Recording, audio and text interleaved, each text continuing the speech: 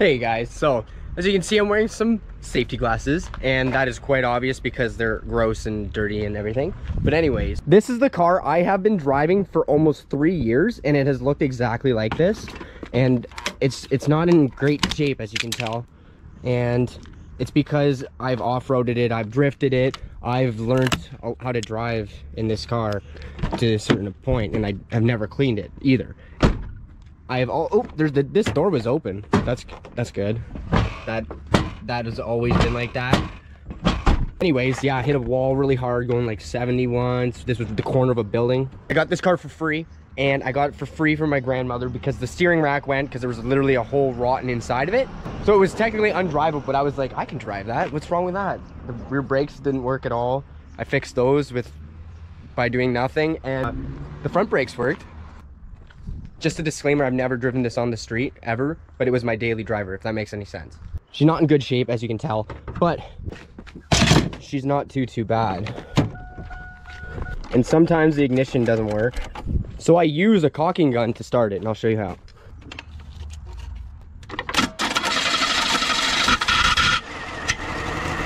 For the first while, I actually had to start it like that for probably a month.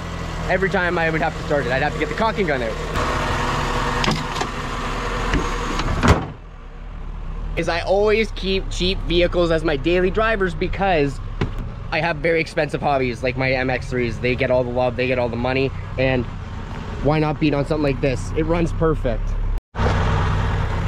Three years. It's actually lasted one full month with no oil in it. I tested it out and it actually went one full month with no oil in it, but then I filled it all the way up and it still ran and it's never missed a beat. As you can probably tell, this car is ready for the wreckers. I have a new Jetta. This is the new girl, $500 car that I saved from the junkyard. It was actually going to the junkyard, but I saved it. So I have assortment of things I'm going to do before I actually scrap it because it's time, it's gotta go. And I'm gonna make a call to logos and see what their tips are. Hello, hi. I have a couple questions for you.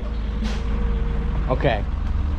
So I have a vehicle that I would like to scrap is it okay if it doesn't have windows in it? Okay, let's say I drove it to you with no windows in it. And would that still get the $300? Yeah, the exhaust is on there, tires are on there, yeah. So that's good. Doesn't need any glass.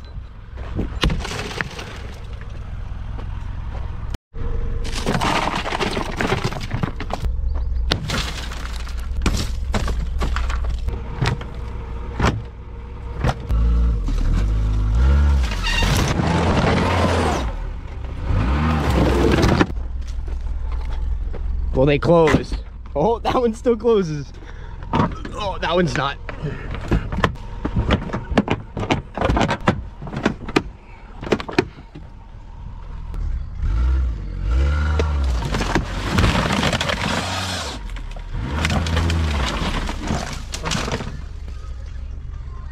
Whoa. Well, close now. Nope. Close enough.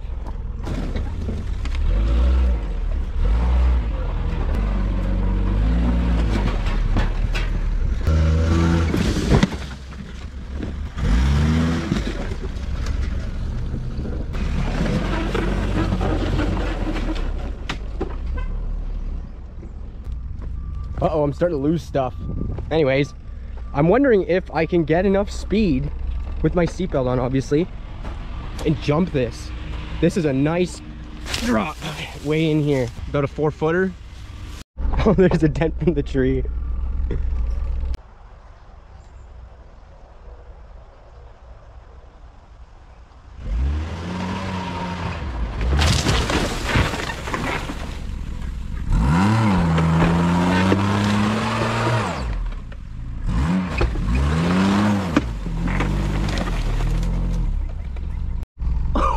From up here to down here.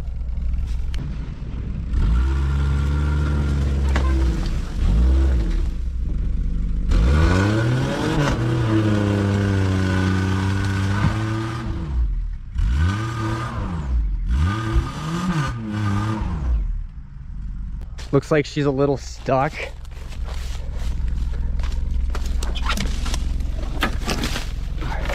She made it in way further than I thought. This is, this is bananas.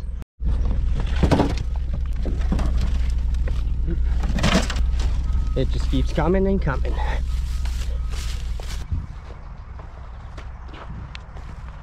So I'm gonna use my truck to pull this out just a little bit. I'm hung up on a little bit of a rock and stick probably. All right, down in the ditch here. Anyways, I'm gonna back it up a little bit and then I'm gonna see if I can get this thing back up here, even if I have to like reverse it or whatever. And I'm gonna see if I can get it back up here without the truck. So I'm just gonna get her a little bit loose and then I'm gonna see what it'll do.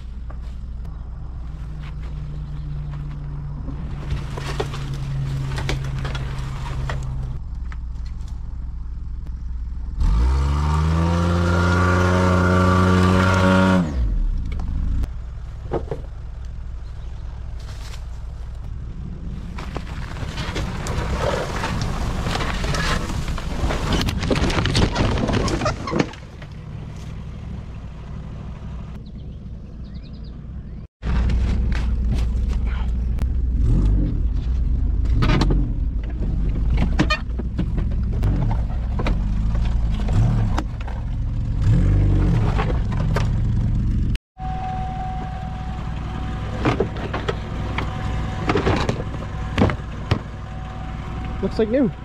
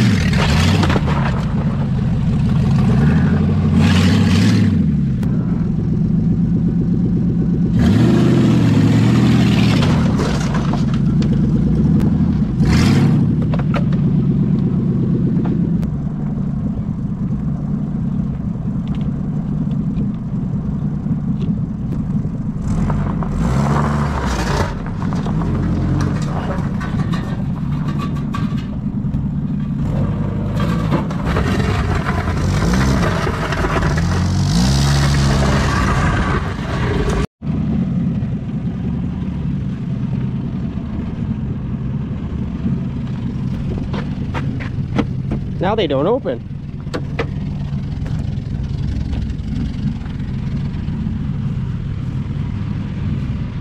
I bet that'll pin right back. Oh! the hood and the windshield are looking mint though. And same with the roof. Normal body line, not so body line.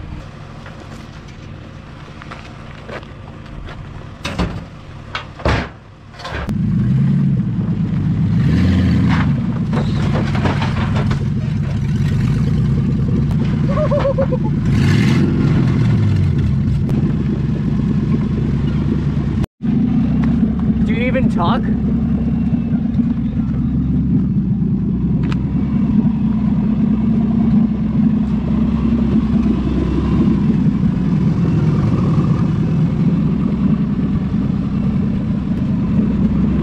Oh my god.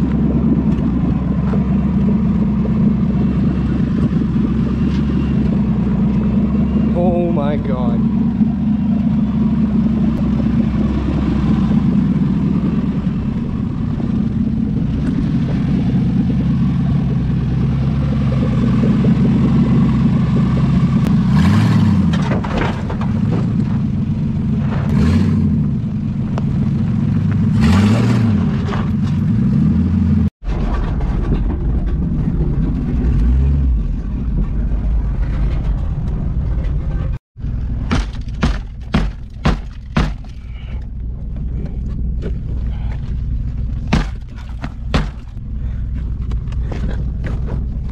Guess the window it is.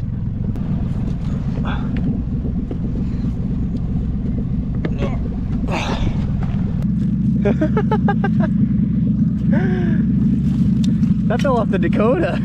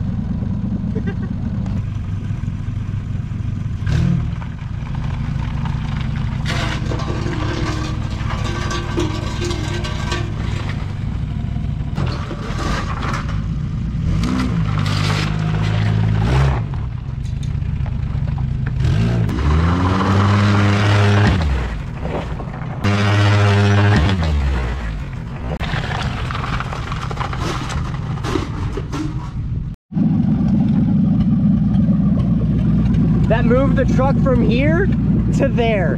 I am not even kidding you. The exhaust looks pretty big. Peekaboo! Peekaboo!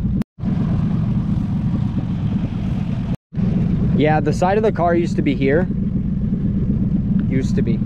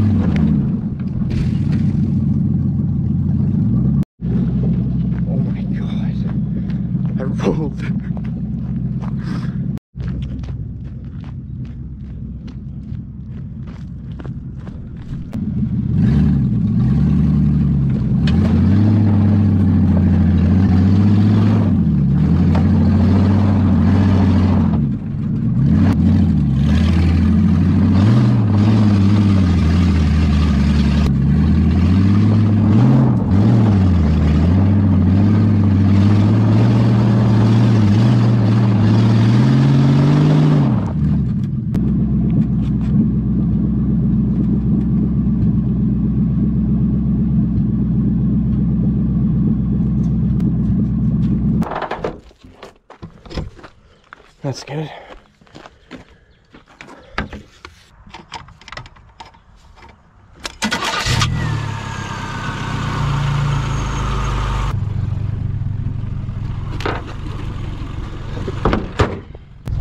This is the last drive she'll ever have.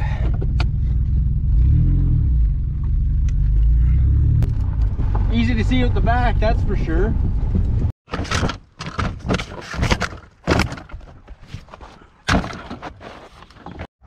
I need this bumper for the memories.